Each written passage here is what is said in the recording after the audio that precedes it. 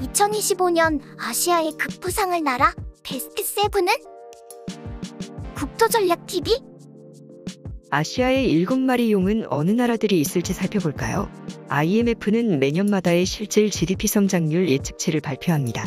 2020년도 팬데믹 상황이 발생했었을 때는 전 세계가 온통 빨간색으로 나타났었고, 2021년도에는 코로나 시기 풀린 양적 완화의 자금이 전 세계를 초록색으로 물들였으나, 쿠데타가 발생한 미얀마만 홀로 역성장을 기록했으며, 2022년도에는 전시 상황에 돌입한 우크라이나와 러시아, 벨로루시, 리비아 등의 전시 상황 국가들 그리고 디폴트 위기를 맞은 스리랑카 등을 제외하고는 전반적인 세계적인 성장세가 이어졌었는데요. 2023년부터는 저성장 역성장의 위기가 영국, 독일 등을 엄습하며 세계 경제의 위기가 오고 있는 게 아니냐는 우려가 생기고 있습니다. 2023년 이러한 상황에서 높은 성장세를 기록 중인 나라들은 아시아에서는 필리핀이 독보적인 6%대 성장률을 보이고 있고 베트남, 캄보디아, 인도, 방글라데시 같은 중국을 대체할 제조업 공급망 기지가 빠르게 급성장하는 모습을 보이고 있습니다.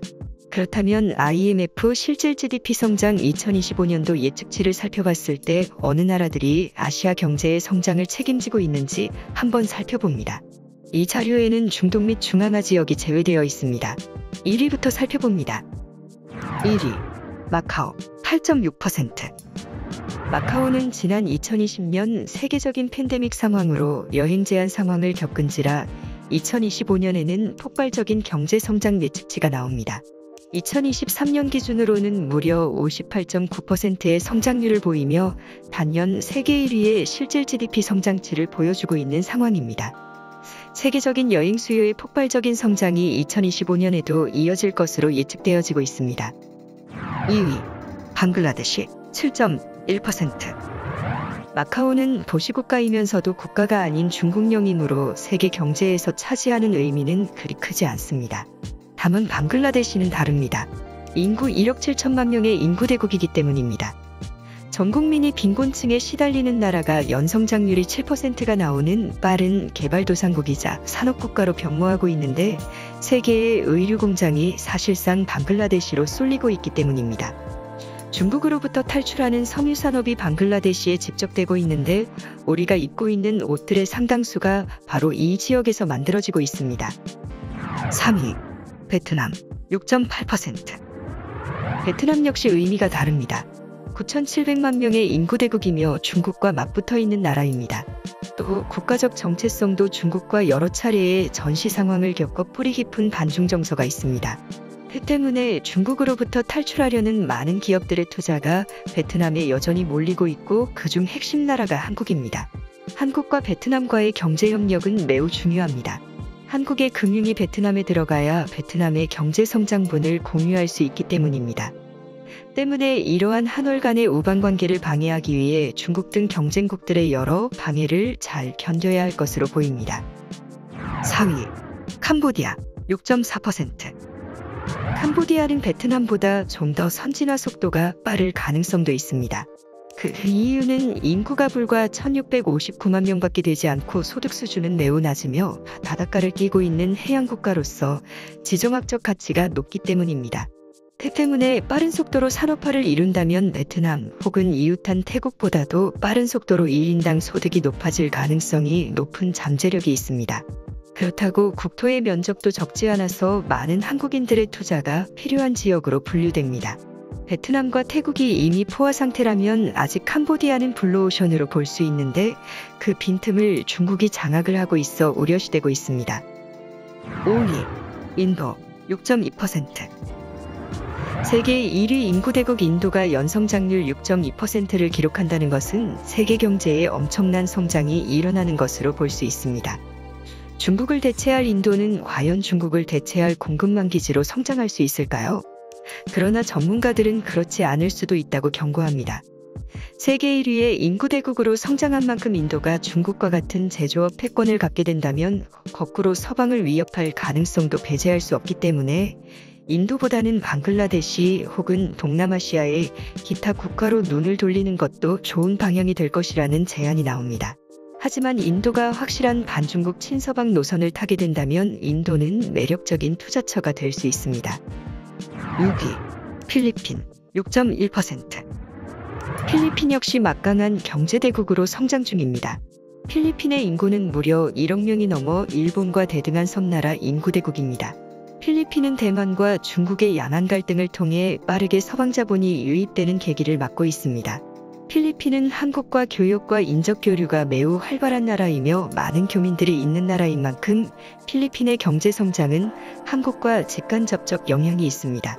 무엇보다 기대되는 점은 필리핀의 중산층 사회가 두터워지게 되면 한국의 가전, 자동차, 건설업체들의 진출 기회가 많아진다는 점입니다.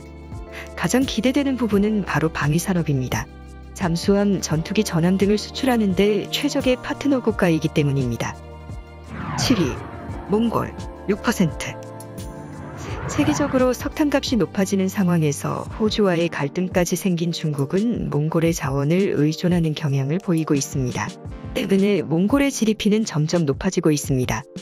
그러나 몽골은 중국의 의존적인 경제 구조를 탈피하고 확실한 친서방 라인에 서기 위한 정치적 움직임이 감지됩니다. 대표적으로 몽골의 전 대통령이자 유력 인사 차이야 엘벡도르지 전 몽골 대통령은 미국, 한국 등 서방 국가들과의 연대를 강화하는 행보를 이어가고 있습니다. 이 같은 친서방 행보는 몽골 내 달러화, 한국권화의 유통량을 증가하게 할 것으로 보입니다. 8위 부탄 5.4% 부탄은 인구가 77만 명 수준에 불과합니다. 부탄도 마카오와 비슷하게 관광국가입니다. 2020년 부탄의 경제 성장률은 마이너스 10.1%를 기록했으나 관광대국인 마카오와 비슷한 현상으로 회복이 빠르게 이뤄질 것으로 보입니다. 부탄은 원래 매우 폐쇄적인 나라였으나 영국에서 공부한 젊은 왕세자 부부가 국왕이 된 이후로부터는 마치 스위스와 같은 현대적이면서도 동양의 전통미를 간직한 아름다운 관광국가로 발전할 것으로 기대됩니다. 무엇보다 부탄이 지정학적으로 중요한 이유는 바로 인도와 중국 사이에 위치한 나라라는 점입니다. 서방 국가들이 부탄을 통해 얻을 수 있는 지정학적 이점이 있는 나라일 뿐 아니라 부탄 내에서는 한국어 학습 열풍이 1위로 나타나는 지역으로서 한국도 부탄과의 우호 협력을 다져나가야 합니다. 9위 네팔 5.2% 부탄과 인접한 네팔은 인구가 3천만 명 수준입니다. 인도 중국 국경 사이의 산악국가로서 현재 중국에게 많이 포섭을 당하고 있습니다. 중국 1대1로 철도 현장의 대상 국가가 되었으며 당초 인도를 통한 서방 국가 협력을 가속화하려 하였으나 네팔이 점차 친중국 노선으로 향하게 되고 있습니다. 네팔은 중국의 자본을 받아 공항 건설에 나서고 있습니다. 그러나 2023년부터 네팔의 정치적 분위기가 달라지고 있습니다. 2022년 말 네팔에서 반중국 정치 구도가 만들어지기 시작하면서 미국의 외교매체 디플로매지에서는 중국이 네팔에서의 지위를 잃었다고 보도했습니다. 이에 따라 네팔은 친서방 달러 자금을 받기 위한 투자 기회가 열릴 것으로 보입니다. 10위 인도네시아 5% 세계 4위 인구대국 인도네시아는 인구 2억 7천만 명의 어마어마한 인구를 보유 중입니다. 수많은 섬들을 다스리고 있는 나라인 만큼 자원이 매우 풍부합니다. 배터리 산업의 성장은 인도네시아를 패권 국가로 만들고 있습니다. 배터리 산업에 필요한 상당 광물이 인도네시아에서 공급이 이루어지고 있기 때문입니다. 제4차 산업혁명의 성패가 인도네시아의 자원 공급망에 달려 있습니다. 11위 말레이시아 4.4% 말레이시아는 뜻밖의 첨단 산업 국가로 떠오르고 있습니다. 말레이시아는 반도체 장치 중 하나인 전자집적회로 EIC를 만들고 있습니다. IMF의 통계치가 아닌 2023년 말레이시아 정부의 자체 발표에 의하면 전년 대비 8.7%의 초고도 성장을 기록하고 있다고 발표했습니다. 이것은 22년 만에 최고 성장률로서 말레이시아의 내수 경기 확대가 이어지고 전자기기 등에 대한 수요가 견실하면서 8.7%의 높은 성장률을 보이게 되었고 반도체 산업 및 전자제품 시장에 사용되는 말레이시아산 EIC 전자집적 회로의 생산은 말레이시아가 주요 첨단 국가로 떠오르게 할 것으로 보입니다. 한국, 타이완, 베트남, 말레이시아를 연결하는 첨단 산업 벨트가 만들어질 것으로 예측됩니다. 12위 중국 4.1% 중국의 경제 성장률을 믿을 수 없다. 리커창 중국 부총리가 직접 한 말입니다. 중국의 GDP가 실제보다 많이 부풀려져 있다는 것입니다. 중국의 현재 청년 실업률은 20%를 돌파하여 사상 최악을 기록 중입니다. 매년마다 천만 명 이상의 대졸자가 양산되는데 그들이 갈 곳이 없는 상황입니다. 그 때문에 마지막 남은 카드는 부동산 경기 부양책인데 집을 공급해도 사줄 사람이 없는 것이 현실입니다. 13위 라오스 4.1% 라오스는 베트남, 캄보디아, 태국, 중국에 둘러싸인 내륙 국가입니다.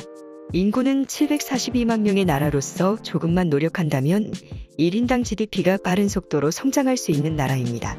라오스는 현재 중국의 1대1로 대상 국가입니다.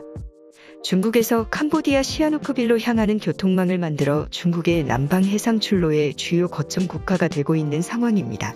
이에 대항하여 미국 측에서는 메콩강 협력기구를 구성하여 미국, 베트남, 태국, 라오스, 캄보디아를 아우르는 메콩강 경제권 협의체를 만들어 새로운 달러 경제권 구상에 나서고 있습니다. 과연 라오스는 중국 위안화 패권 속에 들어갈지 아니면 미국 달러와 패권에 들어갈지 주목되는 부분입니다. 14위 태국 3.3% 태국의 경제 성장률도 높을 것으로 보입니다.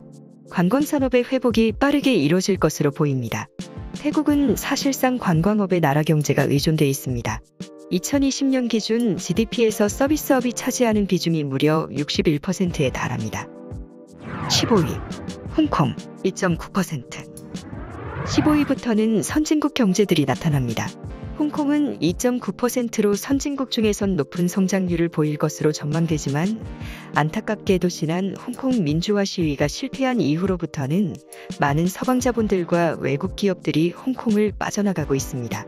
중국에 대한 비판적 목소리를 냈다가는 홍콩에서도 체포를 당할 가능성이 높아졌기 때문입니다. 16위 스리랑카 2.6% 스리랑카의 한반도 타 항구는 중국 일대일로의 핵심 항만으로 성장했지만 황당하게도 한국 기업들이 수혜를 입고 있습니다. 한국의 EDCF 자금을 지원받고 만들어지는 한반도타 행정타운과 대규모 도시개발에서 한국 기업들이 많은 역할을 수행하고 있기 때문입니다. 그만큼 스리랑카가 과거와 달리 유럽, 중동과 동아시아를 연결하는 핵심 항만의 역할을 담당하고 있을 뿐 아니라 인도의 경제 성장에 따라 앞으로 더욱 큰 성장세가 예측됩니다. 17위 미얀마 2.5% 미얀마의 경제 성장률은 비선진 시장에서는 매우 낮은 수준입니다. 2021년 군부 쿠데타 사건의 여파로 홀로 마이너스 17%의 최악의 역성장을 기록한 이후 꾸준히 회복을 할 것으로 여겨지는데 IMF의 자료에 의하면 2028년에는 3.4%의 비교적 높은 성장으로 전환할 계기가 있을 것으로 예견하고 있습니다. 18위 싱가폴 2.5% 18위부터 21위까지는 전부 선진 시장입니다. 싱가포르는 중국과 아시아에서 많은 부자들이 탈출하는 주요 지역입니다. 세금이 낮고 다양한 국제적 인프라가 있는 지역이기 때문입니다. 2025년 이후로는 중국과 대만과의 양안 갈등 문제가 더욱 심화될 것으로 전망되기 때문에 싱가포르는 그에 따른 반사 이익을 얻을 것으로 보입니다. 19위 한국 2.3% 아시아 선진 시장 중에서는 가장 높은 성장률을 보일 나라로 한국이 그 가능성이 보이고 있습니다. 2024년에는 2.4%, 2025년에는 2.3%의 성장률을 보일 것으로 IMF 자료에서는 예측하고 있습니다. 특히 중국과 대만 양안 갈등에 따른 부분적 반사 이익을 한국이 얻게 될 가능성도 배제할 수 없습니다. 현재 한국 반도체의 최대 경쟁자는 대만인 상황인데 대만이 전시 상황에 돌입하게 된다면 대체하게 될 나라는 한국뿐이며 또 방위 산업 물품을 대만과 인접 국가인 필리핀 등 우방국에 공급할 나라는 한국밖에 없기 때문입니다. 무엇보다 기대되는 부분은 바로 통일입니다.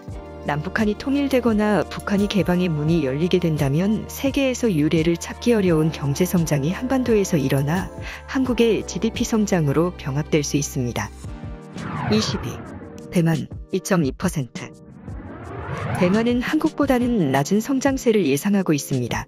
워렌 버핏은 대만 반도체사의 큰 투자자였으나 양안 갈등의 문제 등으로 인해 대만에서 자금을 회수했습니다.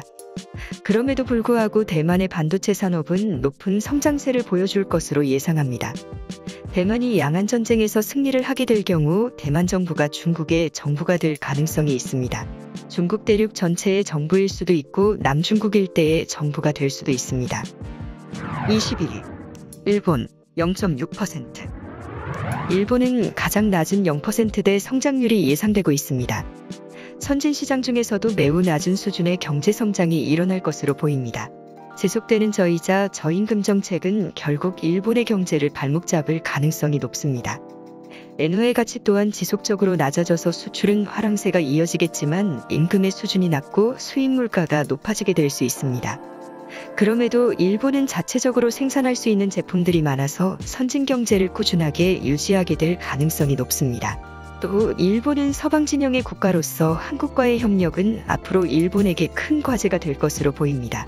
일본의 엔저 낮은 금리 정책은 일본 엔화가 아시아 경제에 활발하게 유통되게 하는 역할을 하기도 합니다. 많은 아시아의 개발도상국들이 일본 엔화 차관을 중심으로 ODA를 대폭 확대하며 적극적인 동남아 정책을 추진해왔고, 일본의 많은 경제 원동력은 이러한 해외 투자를 통한 금융소득으로 국가에 꾸준하게 외화가 유입되도록 하는 정책을 취하고 있습니다. 한국도 이 같은 전략을 취할 필요가 있을 것으로 보입니다. 여러분들은 어느 동아시아 및 남아시아 국가들에 투자를 하고 싶으신가요? 여러분의 의견을 댓글로 달아주시기 바랍니다. 매월 990원으로 국토전략TV 멤버십 프로그램에 가입하셔서 비공개된 비디오들을 시청해 보시는 것은 어떠신지요? 지금 나오는 네모 버튼을 클릭하시거나 댓글 최상단의 링크를 클릭하세요. 시청해 주셔서 감사합니다.